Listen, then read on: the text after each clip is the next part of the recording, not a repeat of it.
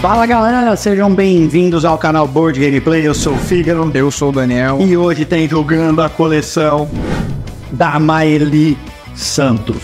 Mas Passos. Maeli Passos, foi o que eu falei.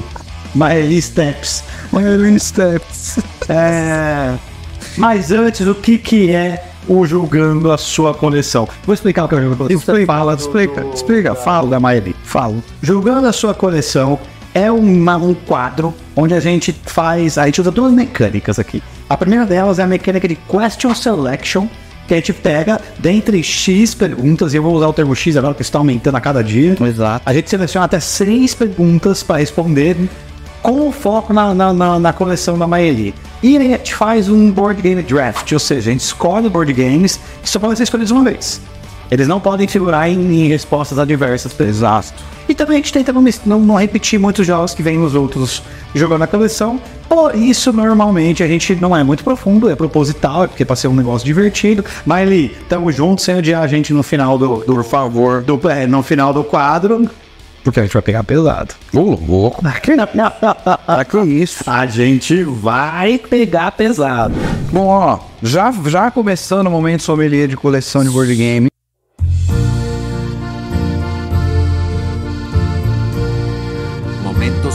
Sommelier de coleção. Vai lá. A coleção da Maeli tá bem organizada numa estante aqui, bonitinha, pá.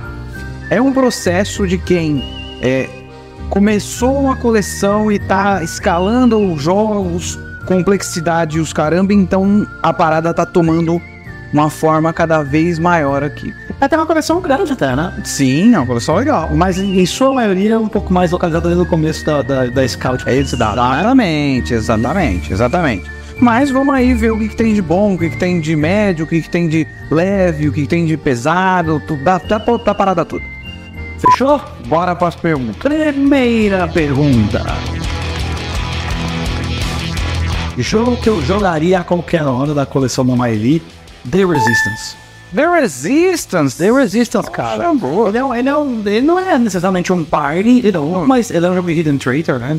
E ele, ele é um jogo super rápido, né? tem 15 minutinhos ali no máximo de, de, de partida. E dá pra se divertir, mas ele precisa de muita gente pra isso. Então, pra ficar legal, tem que ser 7, 8 pessoas, assim.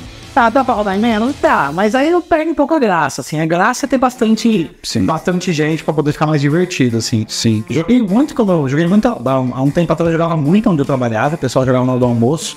Por isso, porque é rápido, é fácil de colocar na mesa, ali, é divertido. A ponto de ser feito um eco pra poder fazer os passos The Resistance, que é fecha os olhos, abre, um olha pro outro e tal. Ah, mano, é bem interessante. The Resistance é um jogo que eu jogaria pra. Fácil pôr na mesa e vambora.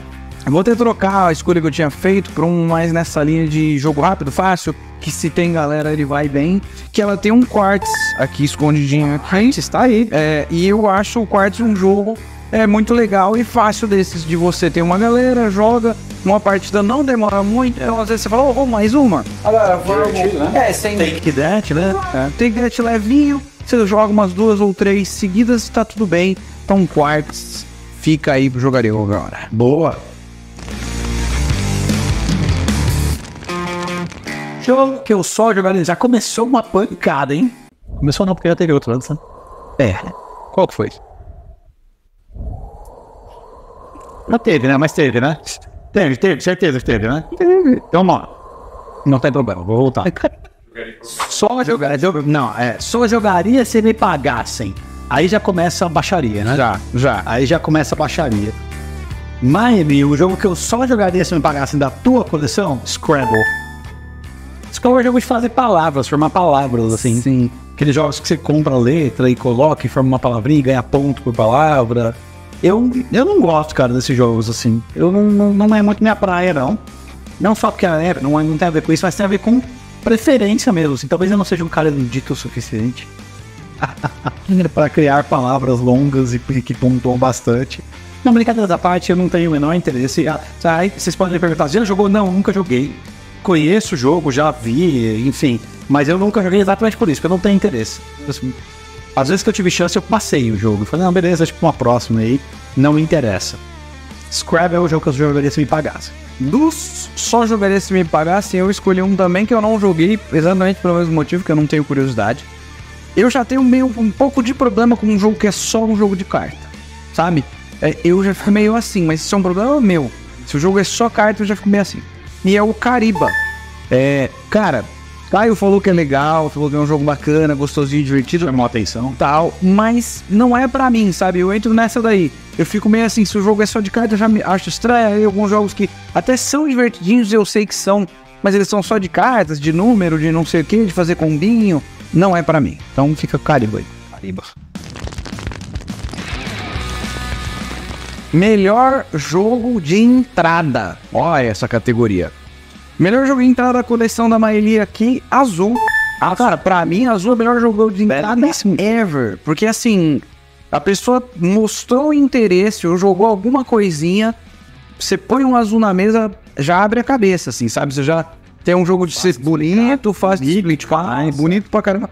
A pessoa já faz uns combinhos, já se empolga com a parada e fala, ô, vamos jogar outra coisa. Pronto, já cumpriu o seu papel e entregou super bem com o melhor jogo de entrada desde sempre, fato.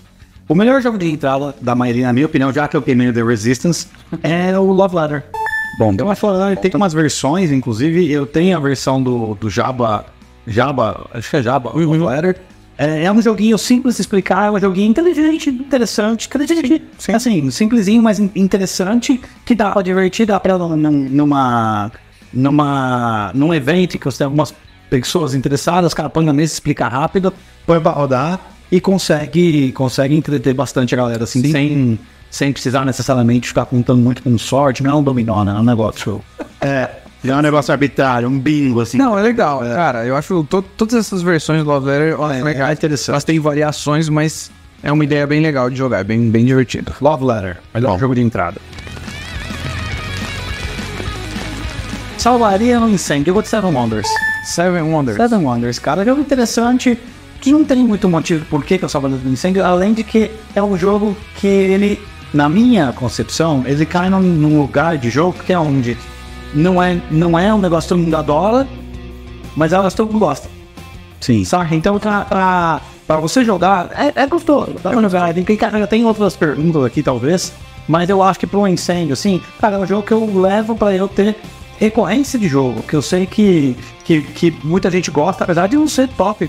Não, não, não vejo, pelo menos, como top de muita gente, assim. Sim. Mas é um joguinho bom, um joguinho gostoso de jogar, assim. Never Wonders. Eu vou salvar do incêndio. Eu sei que eu não vou salvar do incêndio aqui. Bonfire, né? Porque é fogueira. Nossa, desculpa, desculpa. Olha aquele desculpa, desculpa, é. Eu, o jogo que eu salvaria do incêndio, Brass Birmingham.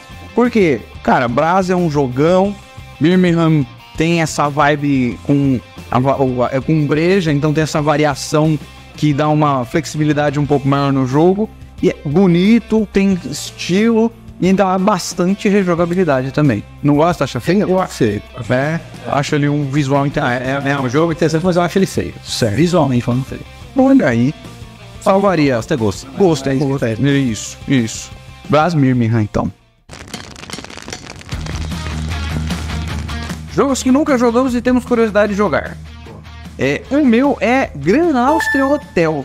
Cara, jogo mais classicão, mais eurão clássico tal, mas muita gente fala que ele é uma paulada de bom, que ele é interessante pra caramba, que ele tem uma mecânica muito boa. É, e eu tenho uma curiosidade monstra de jogar, não tem no nosso grupo, nunca joguei, mas queria jogar um Grand Austria. É, eu já tive, eu já, já pesquisei, eu tenho muita curiosidade também, cara. Legal ser colocado ele. Inclusive, eu acho que tem uma pessoa que vai ter a sua coleção jogada em breve, que é o Thiago Orvati, que já falou dele uma vez. Olha aí. Falou que é um jogo bom, assim, pra jogar, inclusive em duas pessoas e tal. E, e a- desde então eu fiquei com ele na minha, na minha to-do list pra aprender. Belíssima escolha. Não, A minha escolha de jogo que eu gostaria de conhecer, porque não joguei ainda incrivelmente, e olha que legal, estou voltando a citar a Terraforming Mars, mas sem, ah, sem, né, sem ir contra o que a gente já propôs aqui, que é não ficar repetindo, que é o Aves Expedition. Eu não joguei ainda. também, também. Eu, sou, eu tô bem curioso, eu, eu quase comprei ele na época, mas depois eu segurei um pouco e acabei comprando o Terraforming, porque eu não tinha ainda. Mas o, o Expedição Ares é um que eu tenho curiosidade, cara. Eu queria saber se ele roda bem, eu queria saber o quanto de terraforming tem nele, o quanto que ele era mais do mesmo, assim. Eu não tenho uma opinião formada porque eu, de fato, não, não joguei ainda. Eu também quero jogar esse aí também. Melhor jogo pesado. Aí, Maeli, você colocou a gente numa situação complicada, porque você não tem muito jogo pesado. Ah, É, bem. A gente, tem, a, gente, a gente vai trazer os, os jogos que pouquinho mais pesados da coleção, Exato. um ou outro, né, mano? exato. Aí tem um pouco da regra da gente não repetir e tal. Então, Five Tribes, por exemplo, Terraform, a gente não vai trazer. São jogos pesados, muito bons, mas a gente não quer colocar Sim. num cacete repetitivo. Então, a minha escolha acabou sendo Ilha dos Dinossauros. É, já tive o card game, a gente já teve o Ilha dos Dinossauros, é um jogo de dice placement. É, pesadinho. É pesado. Pesadinho. Ladinho. É, é divertido, bonito. Bonito, bonito. Bonitinho, assim. A arte dele eu acho uma arte bem bonitinha. Então, pra mim, melhor jogo pesado da sua coleção, Ilha dos Dinossauros. Pra mim, o melhor pesado, Anachrony. Já falei dele, não lembro em qual categoria no passado aí.